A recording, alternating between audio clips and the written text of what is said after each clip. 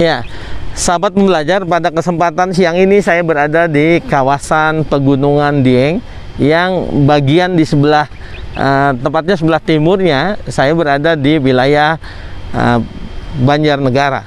Saya ingin mendiskusikan mengenai otonomi daerah terutama eh, Undang-Undang uh, Nomor 22 Tahun 1999 tentang pemerintahan uh, daerah. Mengapa ini penting? Karena undang-undang ini bagaimanapun adalah undang-undang yang lahir karena amanat uh, reformasi. Salah satu amanat reformasi di antara amanat reformasi itu adalah soal otonomi daerah, penyelenggaraan otonomi daerah yang ingin menggantikan undang-undang terutama undang-undang nomor 5 tahun 1974 dan undang-undang nomor 5 tahun 1979 tentang desa. Eh, sahabat pembelajar mendiskusikan mengenai undang-undang nomor 22 tahun 1999 uh, sebetulnya kita harus dulu memahami konstelasi politik nasional pada saat itu.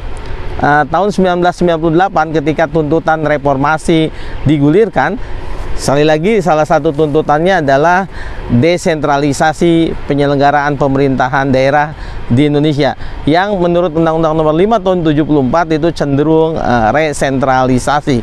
Yuk kita kupas satu-satu Undang-Undang Nomor uh, 22 Tahun 1999 itu.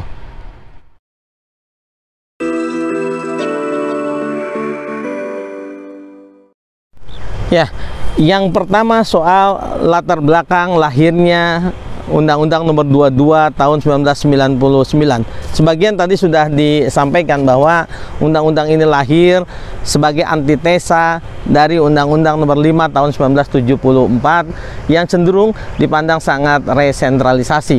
Di mana saja kita bisa lihat itu. Yang pertama, saudara-saudara, uh, di undang-undang ini disebutkan bahwa undang-undang ini uh, lahir untuk mendorong pemberdayaan masyarakat, menumbuhkan prakarsa dan kreativitas, meningkatkan peran serta masyarakat, mengembangkan peran dan fungsi DPRD, dan karenanya kemudian eh, undang-undang ini menempatkan otonomi daerah secara utuh pada daerah kabupaten kota yang tentu saja dalam Undang-Undang Nomor 5 Tahun 74 berkedudukan sebagai daerah tingkat 2, kabupaten daerah tingkat 2 dan kota madya daerah tingkat 2. Daerah kabupaten dan daerah kota tersebut berkedudukan sebagai daerah otonom, mempunyai wewenang dan keleluasaan untuk membentuk dan melaksanakan kebijakan menurut prakarsa dan aspirasi masyarakat.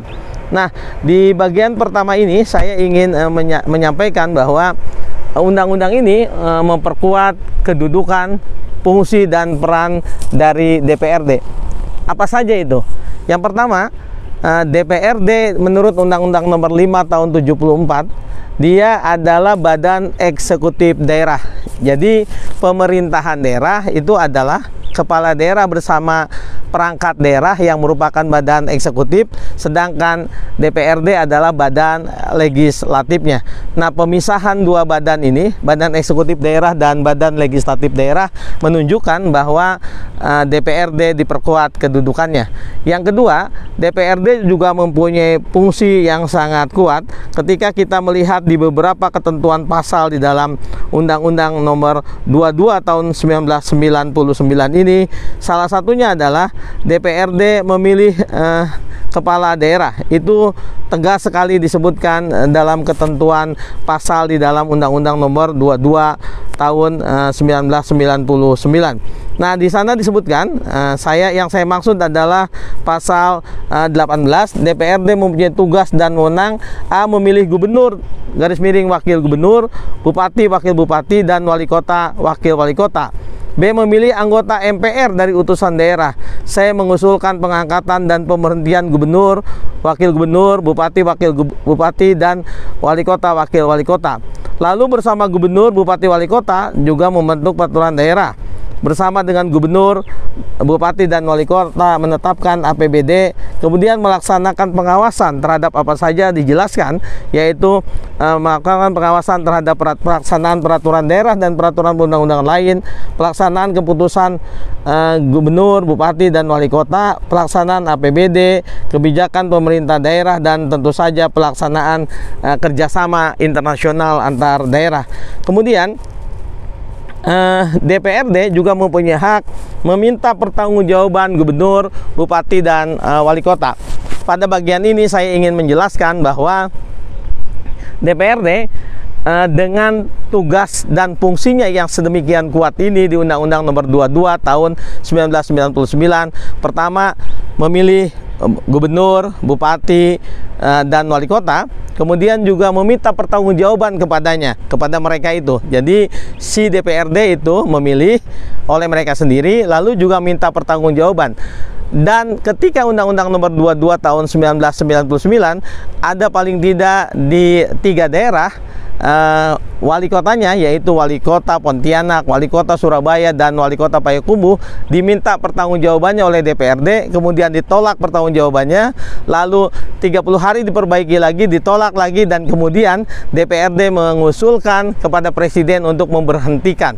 Uh, kepala daerahnya itu Nah, uh, ini menunjukkan bahwa DPRD sangat kuat di Undang-Undang Nomor 22 Tahun 1999. Hal lainnya, sahabat pembelajar, di bagian kedua saya ingin menjelaskan juga soal uh, bagaimana uh, kedudukan antara di satu sisi provinsi dengan kabupaten kota di sisi lain.